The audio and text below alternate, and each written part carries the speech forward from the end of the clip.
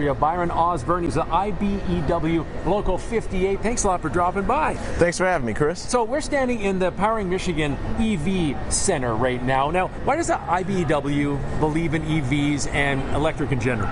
So with all of the infrastructure money being put toward EVs, we believe that we have to be at the forefront of this industry. We're trained, we're certified, we're licensed, and we're ready to take it on. All right, now talk about this center right here. We have this great F-150 behind us. Tell us what's going on here. We're proud to sponsor this learning center. Right here we have smart panels, we have chargers, level twos, level threes. Level two would be chargers you'd have in your home for four to eight hours of charging. Level threes would be DC fast chargers.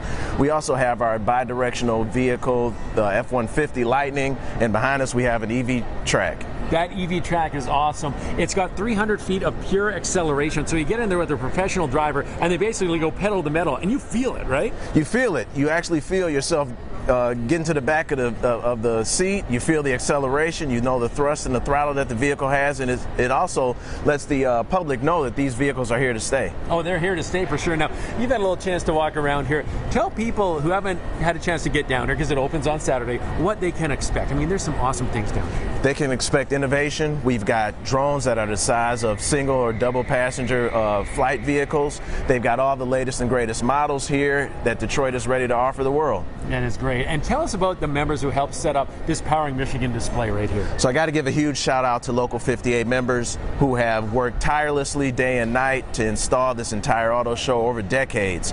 We've got our local members, we got our traveling brothers and sisters who come here to help us man this work and showcase what the auto industry has. All right, I don't know if you can divulge this. You got a favorite vehicle? I'd have to say it's a vehicle that's in our booth, but you got to get here and you got to see it. Very politically correct. That's a true union man. That's right. Hey, thanks a lot for dropping by and telling us all about this Powering in Michigan thing. It's great. Hey, but if somebody hasn't come down here by themselves or, or yet, what mm-hmm. would you expect? A first timer, what do they have to see? Give us one thing they have to see they've got to see the future. Okay. Because the future of the auto industry, they've got to see um, they just got to see it. That's right. That's the best way I can put it. You just got to see it to believe it. You got to see it.